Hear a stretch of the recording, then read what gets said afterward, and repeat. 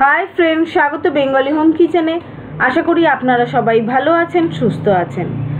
আজকে আপনাদের সাথে একদম একটা নতুন রকম রেসিপি আপলোড করব, যেটা একটা লুচি বা পুরি, যা হোক বলতে পারেন। আমাদের অনেক সময় ফ্রিজে বা রান্না করার পর ডাল বেঁচে যায়।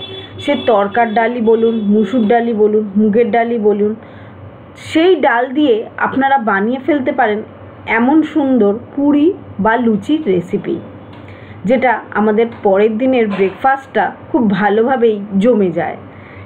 এটা আমি বানিয়েছি তরকার ডাল দিয়ে। কত সফট কত সুন্দর হয়েছে দেখুন। আর লুচিটা কিন্তু আমাদের মশলাদারও হবে। তাই লেফট ওভার ডাল দিয়ে বানিয়ে ফেলুন পুরি। এই ধরনের নতুন নতুন রেসিপি শিখতে হলে অবশ্যই আমার চ্যানেলটাকে সাবস্ক্রাইব করতে হবে। সাবস্ক্রাইব বাটনের পাশে বেল বাটনটাকেও প্রেস করে দেবেন যাতে আমি যখনই কোনো নতুন ভিডিও আপলোড করব, আপনাদের কাছে যেন একটা নোটিফিকেশান যায়। দেখে নিন, এই পুরিটা বানাতে কি কি ইনগ্রেডিয়েন্টস লেগেছে। লেগেছে ডাল। আমাদের এক্সট্রা যে তরকার ডালটা ছিল, সেটাই আমি একটুখানি জল দিয়ে পাতলা করে নিয়েছি আর নিয়েছি আটা। আমি এটা আটা দিয়ে করেছি, কিন্তু এটা ময়দা দিয়েও করা যায়। যেহেতু আটাটা হেলদি সেই জন্য আমি আটাটাই ইউজ করেছি। আর এই তরকার মধ্যে আমাদের সব রকম মশলা আছে, তেল, মশলা সব কিছু পারফেক্ট দেওয়া আছে। তো আমাদের এক্সট্রা করে কিন্তু আটা মাখার সময় কোনো রকম মশলাই দিতে হবে না। না তেল, না নুন। নুন দিলেও কিন্তু বেশি হয়ে যাবে, কারণ ডালেতে আমাদের নুন অলরেডি দেওয়া আছে আর তেলও দেওয়া আছে প্রচুর পরিমাণে। তাই জন্য আমি কিছুই দিইনি, শুধু আটার মধ্যে ওই তরকাটা দিয়ে মাখবো। ফার্স্টে আমি তরকাটা দিয়েই মাখবো, তারপরে যদি মনে হয় যে আমাদের জল দেওয়ার দরকার আছে, তখন আমরা অল্প জল আমি দেবো। আর গোটা গোটা লঙ্কা যদি এরম থাকে, আপনারা ফেলে দেবেন, কারণ লঙ্কাগুলো পরে বেলার সময় অসুবিধা হবে, সেই জন্য লঙ্কাগুলো আমি ফেলে দিলাম। আপনারা চাইলে যদি ঝাল ঝাল পছন্দ করেন, লঙ্কা একটু কুচিয়ে দেবেন, কাঁচা লঙ্কা একটু কুচিয়ে দিতে পারেন। আর যেহেতু এটা তড়কা, সেহেতু এটার মধ্যে কাসুরি মেথি দোয়াই আছে, তো খুব সুন্দর একটা ফ্লেভারও হবে। যদি আপনারা মুগের ডাল বা মুসুর ডাল দিয়ে এই ধরনের রেসিপি করেন, তখন নয়, অল্প একটু ধনে পাতা কুচিয়ে দিতে পারেন। প্রথমে ডালটা দিয়েই মাখবেন। ডালটা দিয়ে মাখার পর যদি মনে হয় অল্প একটু জল লাগবে, তখন একটু জল আপনারা অ্যাড করতে পারেন। তবে আমার মতে আপনারা যখন ডালটা ফ্রিজে রাখার পর একটু ডালটা শুকিয়ে যায়, তখন তো তাকে জল দিয়ে পাতলা করতেই হয়। তো তখনই আপনারা কি করবেন, ডালটার মধ্যে একটু জল দিয়ে পাতলা করে নেবেন, যাতে আপনাদের আটা মাখার সময় এক্সট্রা করে কোনো জল দিতে না হয়, যাতে ওই ডালটা দিয়েই মাখা যায়। ডালটা দিয়ে মাখলে বেশি ভালো হবে। তো আমার মোটামুটি মাখা হয়ে গেছে। বেশি পাতলাও নয়, বেশি নরমও নয়। সেরকমই ময়দাটা মাখতে হবে, যেরকম আমরা মাখি সেরকম।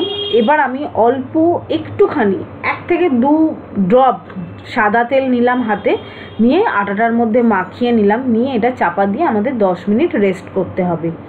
দশ মিনিট বাদে আমি এটা বেলে আপনাদের দেখাচ্ছি।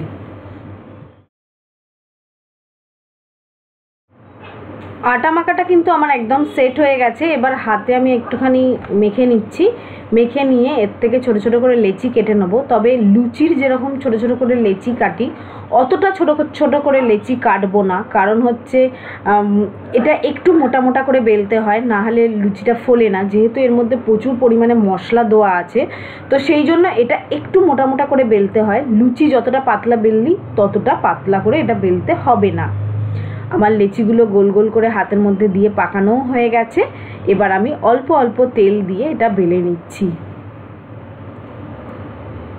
দেখুন, দেখে বোঝাই যাচ্ছে যে আমি বেশি পাতলা করিনি, একটু মোটা করে বেলেছি। ঠিক এরকমভাবেই আমাদের সবগুলো বেলে নিতে হবে, এরকম একটু মোটা করে। তরকা সাধারণত আমরা তেল দিয়ে বা ঘি দিয়ে করে থাকি। তো এর মধ্যে প্রচুর পরিমাণে ঘি আর তেল আছে, তাই বেলতে খুব একটা তেল আমাদের লাগে না। আর ডেসক্রিপশান বক্সে দেখে নেবেন, আমার ইনগ্রেডিয়েন্টসের ডিটেলস দেওয়া থাকে। এবার আমি এগুলোকে তেলে ভেজে নেব। সাদা তেলে ভেজেছি, আর একটু তেলটা গরম হতে দিয়েছিলাম, দেওয়ার পর তেলটা যখন গরম হয়ে যাবে, যেরকম আমরা লুচি ভাজি, ঠিক সেম পদ্ধতিতে ভেজে নিতে হবে। কি সুন্দর বড় বড় করে গোল গোল করে ফুলেছে, দেখুন। অবশ্যই জানাবেন আমার এই রেসিপিটা কেমন লাগল। ভালো লাগলে লাইক করবেন শেয়ার করবেন বন্ধু এবং ফ্রেন্ডসদের মাঝে, যাতে এই রেসিপিটা আরও অনেকে শিখতে পারে। আর যদি এই রেসিপিটা আপনাদের ভালো লেগে উপকৃত হন, তাহলে অবশ্যই একটা লাইক করে দেবেন। লাইক করলে আমরা অনেক উৎসাহ পাই নতুন নতুন, ভালো ভালো রেসিপি শেখানোর জন্য। কি সুন্দর ফুলেছে। আর এর সাথে আলুর দম, এর সাথে আলু নানা রকম অনেক রকম তরকারি আমি শিখিয়েছি, সেগুলো আপনারা পরিবেশন করবেন। আর এটা বিশেষ করে গরম গরম পরিবেশন করবেন, খেতে কিন্তু অসাধারণ লাগে। এভাবেই আমি সবগুলো ভেজে নেব।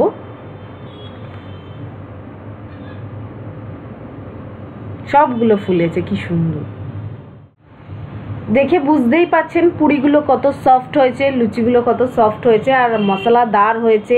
এর সাথে যে কোনো তরকারি খুব ভালো লাগবে, বা তরকারি ছাড়াও এমনিও আচার দিয়েও আপনারা এটা খেতে পারেন। অবশ্যই কমেন্ট করে জানাবেন আপনাদের এই রেসিপিটা কেমন লাগে আজকের মতো এখানেই শেষ করলাম। টাটা বন্ধুরা, সবাই ভালো থাকবেন, সুস্থ থাকবেন। আবার কোনো নতুন এরম রেসিপি নিয়ে আপনাদের দেখাও বলে চলে আসব। টাটা।